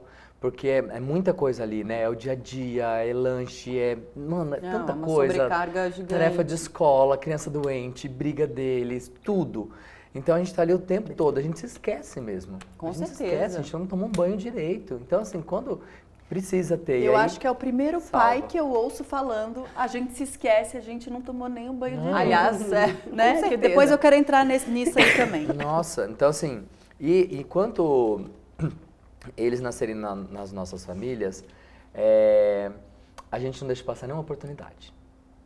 Em casa, assim, o papo é muito reto. Primeiro, minha filha, ela tem um orgulho enorme de terem dois pais. Assim, ela tem, assim, você vê, assim, ela ela fica apaixonada, ela Existe adora a história falar. da menina sempre ser apaixonada pelo pai, né? E ter dois, É, então. E ela adora falar que ela tem dois pais, e, mas eu aproveito todas as oportunidades. Quando vem alguma questão da escola, eu adoro que venha, porque eu não deixo isso passar. Então, esses dias eu estava fazendo jantar e a Sara falou assim, pai, o que, que é viado? Eu, Thiago. Aí eu falei assim, por quê? Ah, um menino empurrou o outro lá na escola e falou assim, ai, viado, sai daqui. Falei, viado, filha, é como vão chamar o seu pai e o seu pai Tiago. Né? Você vai ouvir muito isso. Então é uma forma pejorativa que vão chamar para ofender, para magoar. Eles acham que um palavrão e saem xingando todo mundo. Então você vai escutar muito isso. Né? É, e você sabe que isso é preconceito. É, eu sei. É, então tá bom. Expliquei. Então assim, eu não deixo passar nenhuma oportunidade. Minha filha sabe o que é trans, sabe tudo, sabe. Eu, eu tento trazer para minha casa pessoas que a minha filha consiga ver o máximo de diversidade. É, o Davi é preto, a Sara não, embora eles são irmãos biológicos. E eu tive sempre uma preocupação assim. Tem uma pessoa que hoje ajuda a gente em casa, e eu falei pro falei assim, eu não quero que que a pessoa que venha trabalhar aqui seja uma pessoa preta.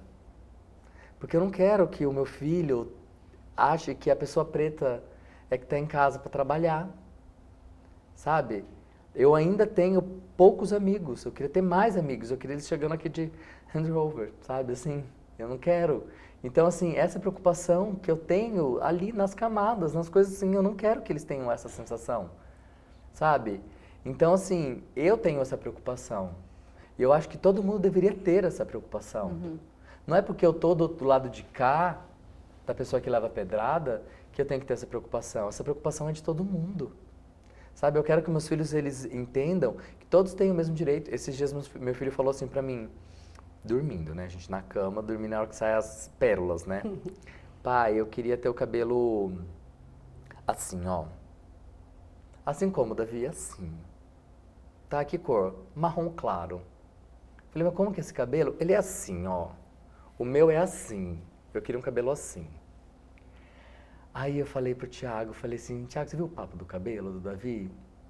Sabe, a gente precisa reforçar mais, que o cabelo dele é a coisa mais linda do mundo. Sabe, assim, então, assim, ele nunca teve problema. Então, assim, a gente precisa estar atento o tempo todo. Isso não é um trabalho nosso, isso é um trabalho de todo mundo.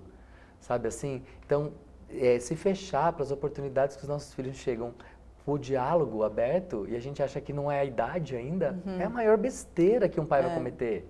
O meu filho, esses dias, ele, eh, há um tempo atrás, ele pediu para pintar a unha, porque a Sara estava pintando. E, e ele falou, ah, eu vou para a escola assim. Eu cheguei da escola, ele, pai, tô com a unha pintada, a Sara pintou minha unha, uma de cada cor. Aí eu falei assim, você vai para a escola assim, o Thiago? Eu falei, vai, vai para a escola assim, o Thiago? Ele falou, vou. Eu falei, tá bom, Thiago. Paulo, é muito cedo, ele tem quatro anos, como que ele vai com a unha assim? Eu falei, o que ele vai passar com quatro, ele vai passar com dez. Ele vai com a unha assim, a gente vai conversar com ele, ele vai com a unha assim. Mandei mensagem para a professora, falei assim, o Davi tá indo com a unha pintada, tá? A Sara pintou. É, já conversei com ele aqui, mas só fica observando que se alguma coisa fugir do controle, você pode dar uma força? Ah, tá bom, Paulo, no final do, dia eu te mando uma mensagem. E eu assim, o Thiago já chorando, né? O Thiago é esse pai. E eu fui trabalhar de boa. Falei assim, quando a gente, eu cheguei em casa, veio a mensagem da professora. Paulo, Davi se comportou super bem, teve um, um barulhinho no fundo da sala e quando eu vi, ele já estava falando, não existe coisa de menino e de menina. E ele veio até a minha só para validar o que ele falou. E aí eu validei, todo mundo ficou bem. Aí eu saí no intervalo, comprei adesivo de unha, coloquei adesivo de unha em todo mundo, no- nas unhas do Davi, nas unhas de todas as crianças. E, e aquilo, às vezes a gente como pai, a gente tenta proteger dessas coisas. E, e eu prefiro preparar do que proteger. Porque eu não vou proteger o tempo todo. É impossível. É impossível. Ainda mais as redes sociais. A gente escuta cada barbaridade. Então, assim, é, eu quero prepará-los. Entende? E E não significa que eles vão estar 100% preparados. Claro. Porque eu, com 40 anos, não estou 100% preparado. A Marcela não está 100% preparada. A gente se faz forte, a gente se sente forte porque a gente precisa estar forte. Mas várias vezes, às vezes uma pedra nos acerta. E essas pedras vão acertar a gente o tempo todo, né, Má? Aproveitando que você falou, né, da internet, dessas coisas, das barbaridades, né, essa terra sem lei, eu vou chamar o Vai Pra PQP, o nosso quadro. Olha, sinceramente, a gente engole cada sapo na maternidade para não entrar numa treta, né? Que eu acho que só por isso a gente já merecia um lugarzinho no céu, né? Das mães cansadas. É verdade, mas a vontade que a gente tem quando escuta um comentáriozinho desnecessário é mandar a pessoa para Puta que o pariu. E esse é o momento. Nosso quadro vai para PQP para poder aliviar todas as nossas tensões acumuladas. Por isso, Marcela, Paulo, contem pra gente aquele momento histórico que vocês lembram assim durante a maternidade e paternidade de vocês. Que faltou pouco. Você não mandou, mas assim, qual o comentário mais Ou que absurdo? talvez tenha mandado. Assim, eu não, eu não consigo nem. Você consegue sele- eh, eh, selecionar um pra gente? Porque assim, pelo pouco que a gente já ouviu aqui, é uma, é uma barba... Eu chamo de barbaridade, barbaridade. Para mim foi, uma vez eu estava na feira com a minha mãe, com os meus filhos, e aí parando na barraca de banana, uma outra senhora que era cliente olhou para mim, só olhou, tá? E falou: sapatão tinha tudo que morrer. E aí eu olhei para ela, fui dar um passo, falei: você está falando comigo? Ela falou: tô falando com você sim, sua machona, tem que morrer. E aí aquilo na hora, eu falei, sabia que a senhora podia ser presa, podia chamar a polícia? Ela falou, pode chamar a polícia, quem vai ser presa aqui é você, porque fica aí andando, achando que isso aí é normal. E eu parei, minha mãe veio indignada quando escutou e, e- e tentou entrar na luta, e aí meus filhos começaram a chorar. Mas para mim aquilo, a simbologia foi, cara, as três gerações estão aqui, né? Eu estou vivendo isso na frente da minha mãe, que tem 74 anos, e na frente dos meus filhos, que na época tinham dois anos. Então, para mim, foi aquele momento de parar, é, olhar bem para ela e literalmente finalizar assim, né? Falando, cara, eu acho que da próxima vez você precisa tomar cuidado, porque se meus filhos não estivessem aqui, a gente estava na polícia ainda. E aí ela só virou e saiu andando muito rápido. E minha mãe ali meio falou: não, tem que chamar a polícia mesmo. Meus filhos chorando. Foi aquele momento que você fala, cara, eu não vou xingar porque eu sei que não vai resolver, mas é o momento que você vira e fala: não, é possível que isso esteja acontecendo diante aqui dessas três gerações presentes. É o momento que você fala, pô, sério mesmo que você vai interferir no que é a minha relação de família, né? Olha, e... nossa, puxadíssimo, hein? Bem puxado. Eu tava no mercado e aí, é, com o Davi, na fila do caixa, uma mulher falou assim, do nada, ela não falou oi, não falou nada, assim. Eu via que ela tava me observando, eu falei, ah, às vezes conhece das receitas, né, que eu faço na internet. E aí ela chegou e falou assim, a mãe dele é negra? Eu falei, ele não tem mãe. E o Davi assim, ó, já, super esperto, super inteligente já. Ah, Eu falei, ele não, ele não tem mãe. Todo mundo tem uma mãe. Eu falei, não, ele tem uma genitora, mas ele não tem mãe. Ah, é, mas é preta, né? E sai assim, com seu laque, impecável. Nossa, gente, Gente, um- qual? vocês- Por vocês quê? falando Ela aqui, só tá me dando um Ela, estômago é- essa aqui, ó. senhora não vai estar aqui assistindo a gente, mas a gente manda assim, que, que o universo mande um grande vai pra puta que pariu, pra essa senhora onde quer que ela esteja. Eu, tô- eu juro. E uma coisa que mexe suando muito aqui. comigo, que depois que virei mãe, é... e eu não sei que o Instagram, essa coisa horrorosa do algoritmo sabe, isso fica aparecendo pra mim a todo momento, cada vez que eu abro o Instagram, são crianças expostas a esse tipo de situação e coisas horrorosas sendo feitas, tipo pais expondo filhos e mães expondo, enfim, isso fica chegando para mim a todo momento. Então, eu, quando eu escuto, eu penso na hora no Davi, na hora nos seus bebês, é, que era aquela pergunta antes da gente puxar o quadro que você respondeu, Marcela não respondeu, do tipo, como educar e não, não é só educar, é educar mais explicar todos esses tipos de situações. A rede de apoio de vocês eu queria saber qual é. E como é que você lida com isso tudo depois que você saiu desse mercado? O que, que você disse para seus bebês? Eu- a minha filha tem dois anos e eu papo reto tudo já que ela já entende tudo. Então não sei como era ali com eles naquele momento e até hoje, quando você passa por essas situações. A nossa rede de apoio hoje, acho que ela é uma rede de apoio que se reconstruiu pós-maternidade. A gente tinha uma rede antes de amigos, de- e que quando as crianças nasceram, a gente reconstruiu isso. Ela naturalmente, acho que se reconfigura, um né? clássico, né? Um clássico. É, então tem as avós e o avô que são muito presentes, Mas as madrinhas também são figuras que estão muito por ali, que ah, não dá para buscar na escola, uma delas vai buscar, dorme na casa. Então a gente tem hoje uma boa rede de apoio construída. Mas sobre a educação deles, eu acho que uma escolha que a gente tomou foi falar sobre o assunto na frente deles para terceiros. Então, a, ma a maneira que a gente entendeu que era a melhor forma de prepará-los era que essas perguntas viessem para a gente, a gente respondesse na frente deles para que eles vissem que é possível responder sem se incomodar, sem, mas respondendo de forma firme. Eu estou escrevendo um novo livro que fala sobre diversidade e escola, porque talvez a pergunta que eu mais receba dentro do Instagram é e no momento da escola, eu suo a mão só de pensar como vai ser os preconceitos e a exclusão. Eles estão agora numa escola pública, tem 253 crianças, então a gente estão em salas separadas. Então, assim, pelo menos 50 Eles crianças. Estão com quantos anos agora? Vão fazer cinco, cinco. daqui duas semanas. É, e aí, essa, eu vou buscar todo dia, eu sou presidente da, da PM, presidente do Conselho Fiscal, estou na escola o tempo inteiro, então sou muito atuante. É, e aí eu estou ali, eu vou buscar, vou levar todo dia e converso com as crianças. E aí as crianças fazem essas perguntas, não para o Bernardo ou para a Yolanda, mas para mim, mas na frente deles, de falar... Oh, e já acho curioso porque todo mundo me chama de mamãe Marcela. Eu não conheço o nome de nenhuma mãe de criança ali, mas todos conhecem o meu nome, porque é assim que as crianças chamam, mamãe Marcela, mamãe Mel. Então as crianças ficam assim, mamãe Marcela, é verdade que o Bernardo tem duas mamães? E aí o Bernardo já fica do meu lado com uma cara me olhando, eu falo, é verdade. Ah, olha, eu só tenho uma mãe. E aí, vai conversando, então ele vai entendendo isso. E aí teve uma situação assim que um dos melhores amiguinhos dele, faz umas dois meses que ele tinha entrado na escola, falou assim: Mamãe Marcela, quem é aquela ali? Aí eu falei: aquela é a mamãe Mel. A Mel tinha vindo comigo buscar na escola. Ele falou: Ah, mas se você é uma mamãe e ela também é uma mamãe, o que, que vocês são uma da outra? Aí eu falei: agora vem.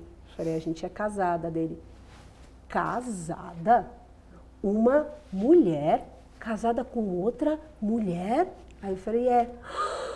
Elas são casadas, elas são casadas. Ele estava num brinquedo de madeira e aí ele foi girando, falei, casa. E aí ele tropeçou e caiu no chão e ele ficava, elas são casadas, casadas. E aí eu só peguei a mão do Bernardo e falei, vamos filho, porque tem um momento também que o assunto ele não termina, ele reverbera.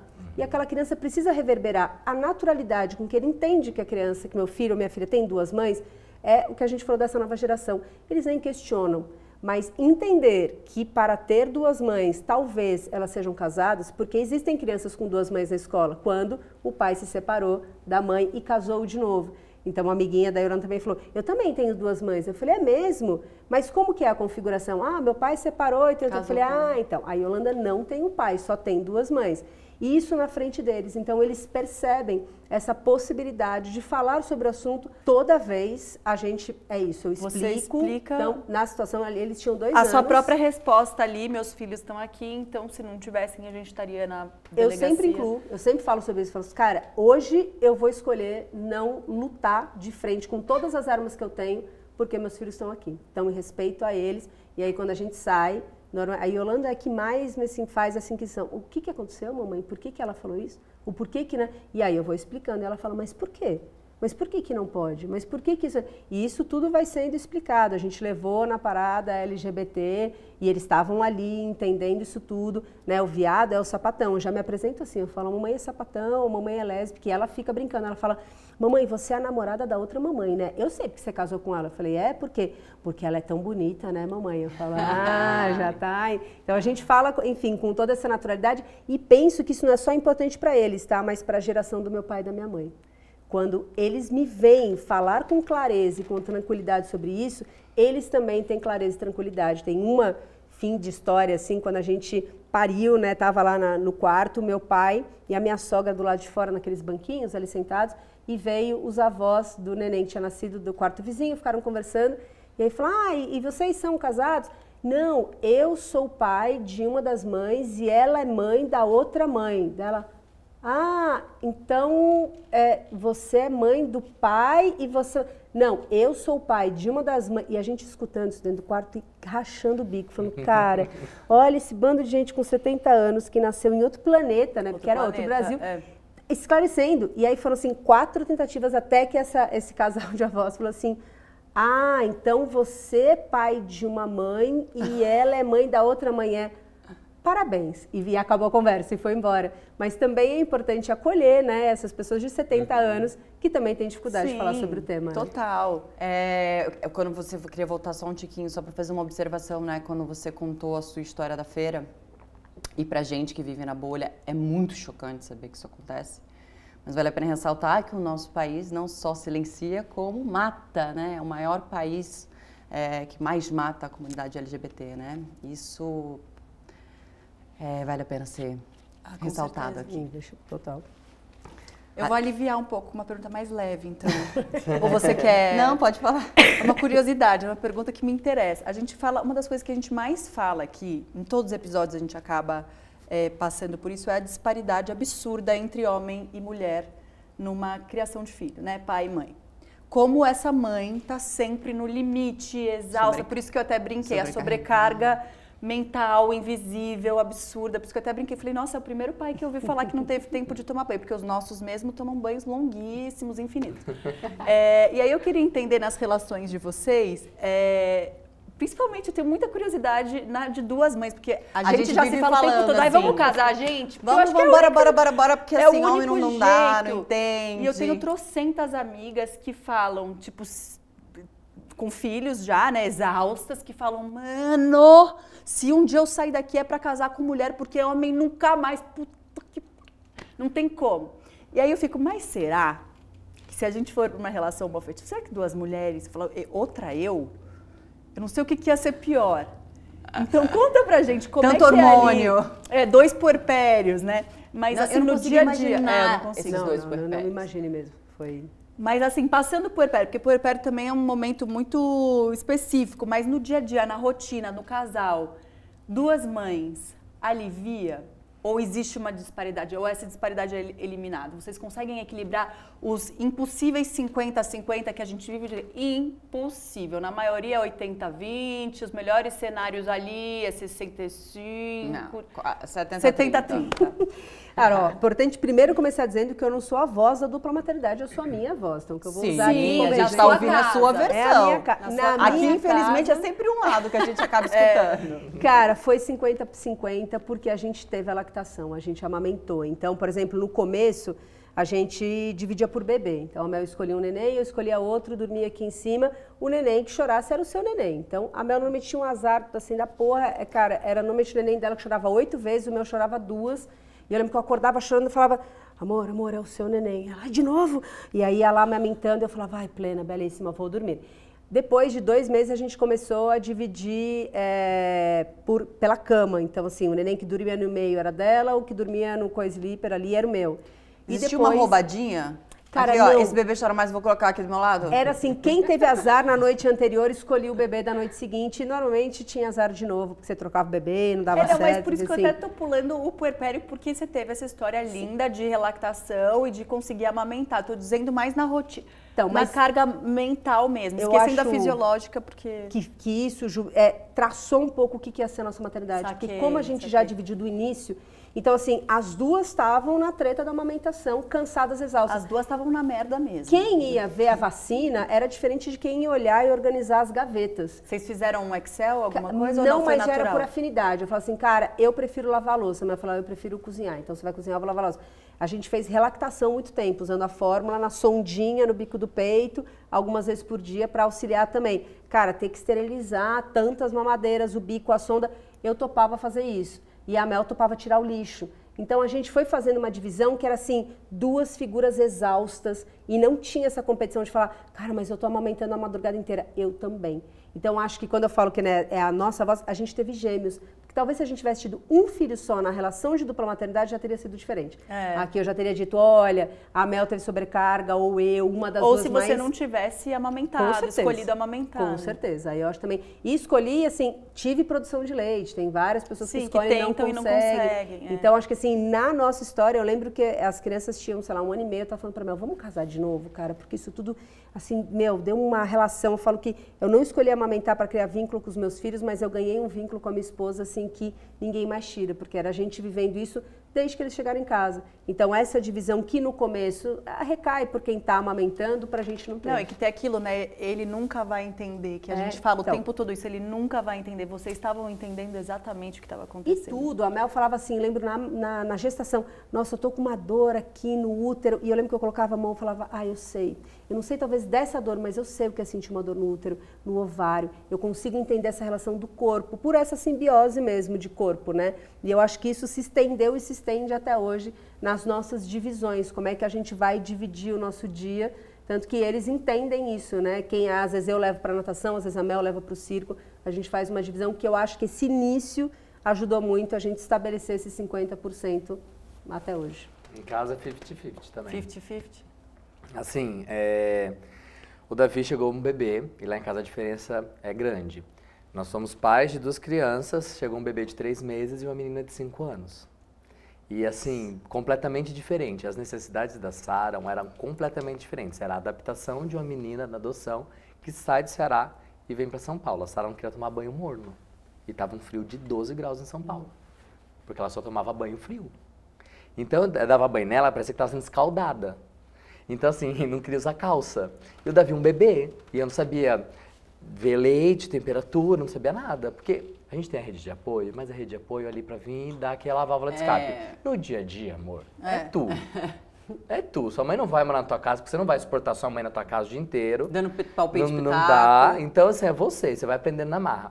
Então, o que a gente fez, assim, uma noite de cada de plantão para dar uma marra. Então, uma noite eu e uma noite o Thiago. Uma noite eu. Então, às vezes, caía na noite da, de, da, que a gente queria fazer uma festinha, beber um vinho, não sei o quê. Eu ia dormir assim, meio bêbado, assim, nossa, justo hoje, minha noite. Sou eu. Mas era assim, até passar essa fase. Então, escola, eu levo segunda, terça, quarta eu levo. O Thiago busca na quarta noite, quinta e sexta. Gente, então, que divididinho. matemática. Uma e dúvida aqui, matemática. uma dúvida aqui, principalmente nesse é, licença maternidade e paternidade já não tem nenhuma em nenhum caso, né? É muito difícil. Licença paternidade é uma Depende coisa da louca. empresa, né? Com a adoção, como funciona e, e com vocês, como foi isso? Porque para você, imagina esse período de vocês receberem esses, vocês dois, né? Os dois seres humanos novos nas vidas de vocês, vocês tiveram esse tempo? Vocês conseguiram? Não, pra, na lei, se eu não me engano, gente, assim, me corrijam, é, você tira um, o pai tira alguns dias, né? Até Sim, 20 é dias, se ridículo, é conseguir grande fazer lá um curso que existe, que dá para paternidade, É, um que algumas empresas assim. liberam 20. Aí, Se tem alguma outra coisa além disso, eu também desconheço. É. Foi o que meu marido conseguiu fazer. Ele tem, existe um curso que você se inscreve de paternidade e tal, e ele conseguiu 20 dias. e aí ganha uns dias que não são suficientes. Aquela, aquele, aquela de quatro meses, são algumas empresas, eu, já dei palestras em algumas empresas aqui em São Paulo, que eles dão essa licença para todos os pais da empresa. Não eles tiram quatro meses. Existe. Eles tiram quatro meses. Eu acho a coisa mais incrível do mundo. E eles falam que é uma virada de chave para eles. Porque eles vivem os quatro meses ali do lado da mulher e eles, a mulher permite que eles sejam pais. Claro. Porque existe outra questão. Às vezes as mães não permitem que as pessoas sejam pais. A gente fala bastante sobre isso aqui, sobre essa coisa Então- controladora da mãe. de- É, e aí, mas no meu caso eu já era ator, eu não trabalhava, eh, já tinha saído do escritório, então eu vivi com o Thiago ali aquele momento. É, mas em meio a um caos, porque a nossa vida estava um caos quando isso aconteceu. Porque a, a adoção tem isso, né? Quando você está gestando, você sabe, nasce dia tal. O quartinho vai ser esse. O filho vai ser menino, vai ser menina, vai ter tal idade, vai, vai nascer desse tamanho. Você consegue ter roupa. Os meus filhos chegaram, não tinha uma muda de roupa. Primeiro que seria um apenas. Então, assim, de repente eu tinha dois filhos na minha casa, sem uma muda de roupa, sem um quarto pronto. E eu tinha que encarar aquele- aqueles dois ali, daquele jeito, naquela hora. Então, e, então foi pego desprevenido. Não me preparei para aquilo. Até porque você estava dois anos esperando, né? É, não me pre... E Sim. poderia ser 10. Porque tem gente que fica Sim, 7, tem. 8, 9. A Regina A Casé falou Casé, que foram que- nove anos, no, não foi nove, Foi oito? Regina foi a Raquel. Agora fiquei na dúvida. A Raquel também, foi Também bastante ficou- tempo, porque ela até tinha esquecido. Ah. Ela até tinha esquecido. Aí ela gerou um filho, não foi Hum, isso? Aí nossa. depois tocou o telefone e ela. É, não acho que foi alguma coisa assim. Tem esses dois episódios aí pra vocês assistirem. Então, essa, essa, essa questão, assim, de repente, pum, tem dois filhos na minha casa. Não tem um quarto, não tem roupa. Bom, eu sou pai de dois. O que, que eu vou fazer? Eu não me preparei para aquilo. Eu me preparei, eu saberia que eu seria pai, mas quando, de quem, e A como? verdade é que não existe uma preparação, É, nem nó- né? nem- Tudo bem preparar é. o quarto e comprar meia dúzia de Estrutura, roupa, né? assim, mas assim, a preparação Ah, não mesmo, tem como. Mesmo que se você tivesse o quartinho e a roupinha, o Não. caos estaria instalado É, eu gestei neste momento. também, gestei essas, quando você narrou a situação de eu olhei ela chorando, os bebês chorando ali naquela sala no, no pós-parto, eu senti na pele, to- arrepiei inteira, porque eu fui para esse lugar também, nem esses nove, eu fiquei quase dez meses com a Cora, gestando a Cora e, e preparação E, alguma. e Você olha, não gente, sabe assim, nada do que está chegando. A gente, é, que eu não comentei aqui, mas a gente, por ser dupla paternidade, a gente enfrentou a- muitas dificuldades, porque não tem lugar pra gente trocar de fralda do bebê. Trocador Sim, do banheiro a gente fala muito sobre isso também Nossa, aqui. em, em restaurante, a, tipo, o gerente do restaurante tinha que tirar todas as mulheres do banheiro, né? Acabar que elas usassem, isolar, ficavam segurança na porta pra gente entrar num banheiro delas pra trocar a fralda. Isso Gente, até hoje, é que olha- o Davi passou dessa fase. Mas, de novo, porque a gente volta a falar que o- o- a maternidade no Brasil é a mãe solo, né? É, a mulher É que vai isso. lá trocar o neném sozinho, porque o pai não vai fazer isso. E quando não é solo, não é solo assim, porque tem um, um- um genitor, parceiro, casado, mas não, né? Esses pais não foram criados para esse cuidado básico. Mas a, a minha né? mãe, eu fico enchendo o saco do meu pai para trocar a fralda da minha filha e a minha mãe toda hora ela faz questão de pontuar, mas ele nunca trocou nenhuma fralda sua. Meu pai nunca trocou. Não, nem meu fralda. pai, imagina. Era outra. Eu lembro da gente uma vez num trocador num shopping que era misto, assim, tava lotado. E aí eu tava trocando o Bernardo, a Mel tava lá fora com a Ioiô, e aí eu brincando com ele, aí eu comecei aleatoriamente, tá cantando assim, ai, ai, ai, o Bernardo não tem pai. E aí todo mundo fez assim, ó. E aí eu na hora percebi, eu falei, não, gente, tá tudo bem, não abandonou nada, é que eu sou casada com outra mulher, então ele tem duas mães. Aí os olhares estavam assim, fizeram assim, ó. Aí eu falei, Bernardo, você já tá pronto, vamos embora. Gente, por que, que eu estava cantando essa música aleatória, nada a ver, né, enfim. Mas a gente era autônoma, nós duas autônomas, a gente já sabia que não teria essa licença, a gente nem ia lutar por elas, mas, é, porque, digo lutar porque hoje existem casais que estão judicializando isso, é uma decisão do juiz, alguns decidem né, por sim ou por não. Tudo tem que ir para a justiça. A primeira decisão é do RH da empresa. Então, tem, tem alguns casos do que o RH falou assim: você não está gestando, mas você é mãe, eu vou conceder. Aí vai para o INSS, que fala, cara, não vou pagar outra licença maternidade porque eu já estou pagando por uma pessoa que uma mãe já está. Às vezes, de gêmeos, o que se faz é cada uma pede por uma criança diferente. Aí a justiça concede. Quando o RH diz não, se você judicializar o RH é demissão, né? Você vai ter que judicializar por fora. Quando o RH aceita, você judicializa o INSS. A gente tem casos aí com criança está com seis anos, estão esperando ainda essa licença, né? Retroativa e tudo mais. A gente, como já sabia que nem tentaria, eh, a gente optou pela dupla amamentação, acho que nesse lugar. A gente fala, cara, então a gente vai dividir e aí a- a- eles tinham 50 dias de vida, a gente já estava viajando sete horas de carro para ir para uma reunião em Rio Preto, trabalhar, porque eu tinha uma reunião, a Mel também tinha uma reunião e eles foram juntos. Então a gente conseguiu, através dessa divisão aí 50-50, trabalhar desde cedo, sabendo que tinha alguém que estaria ali acolhendo e amamentando as crianças. Né? Gente, Nossa, eu tô exausta. gay, né? Eu tô exausta. eu, coitado. Assim, só de ouvir vocês, que difícil, cara. Que loucura. Alguma, algo mais que vocês acham importante? Porque o nosso tempo acabou, voou. Que a gente falou, que a gente deixou, que a gente passou. Cara, acho que não, assim, eu sempre penso isso que é, é difícil, mas eu acho que hoje a gente mudou muito, né? Quando o Paulo fala no começo de não ter representatividade, hoje eu vou pro Instagram e vendo, vejo Ana da Costa e Lanlan, que são amigas queridas, vejo a Fabi do vôlei, a Cris Roseira do futebol, a Amanda Leoa, a Isabela Taviani e tantas outras figuras. Estou só trazendo as mais midiáticas, que têm mais seguidores, mas a gente vai para a TV, né? E isso está lá, pouco, mas está. É, a gente não está mais falando talvez de representatividade, a gente está falando também de pertencimento, né? A gente se sente pertencente já porque a gente sabe onde buscar perfis, né, como família, pessoa tardivo, o quanto alcance tem, quantas pessoas conseguem se reconhecer. Então acho que é uma luta, mas é uma luta que hoje, meus filhos com 5 anos, 2023, ela é muito mais tranquila do que foi talvez para o Chicão, para outras famílias. Então, assim, é difícil, mas tem muita beleza aí também. A sociedade está se transformando. A gente está aqui hoje para conseguir falar sobre isso. Acho que já é esse espaço, é essa voz que tem alcance. Celebrar e agradecer essas histórias que vieram antes, porque é o que nos tornaram né, serem pais e mães possíveis. E, e fico só nesse, nesse momento de pensar que Que vocês É difícil, façam mas é possível, né? mais milhares e milhares De e outras. milhares de outras famílias se enxergarem como possíveis, né? Volto até no finalzinho ali do depoimento da, do saque da mãe hoje. Nossa família existe.